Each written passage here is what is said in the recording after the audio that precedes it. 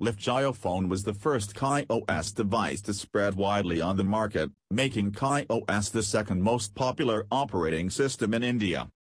Another record for this device was the introduction of WhatsApp and originally the diffusion of more applications at the time exclusively for JioStore, a fork of KaiStore but lacking the official applications available on other KaiOS devices. JioPhone and JioPhone 2, divided into over 20 different variants scattered throughout India, do not have functioning debug codes. All they need are tools to work in EDL mode, flashing a patched data partition, which can allow the development tools to run, or directly pre-installed OmniSD.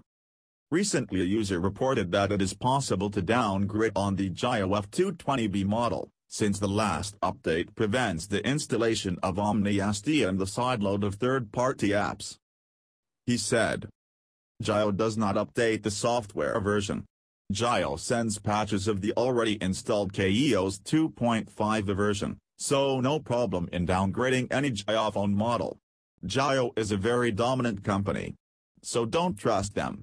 Don't think about receiving access to hotspots in a future update, the useless apps will not to be removable in every new update, in January it happened to WhatsApp, in August instead it happened to Jio Helpline, so a new basic update does not mean anything in Jio.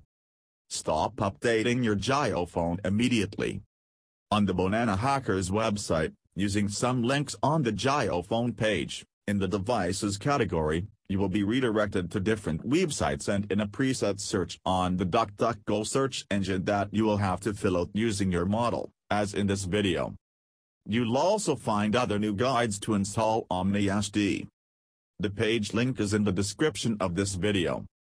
Take back your freedom. Your time is now. BananaHackers.net Join the revolution.